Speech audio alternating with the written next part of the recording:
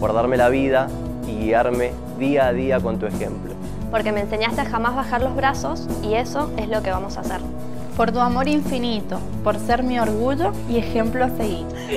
Por tu compañía y comprensión, por cocinar las mejores empanadas y cuidar a tus siete cachorros. Por estar siempre, por ser ese ser de luz que no me deja caer. Por ayudarme a seguir con la facu y esperarme siempre con la mejor cena.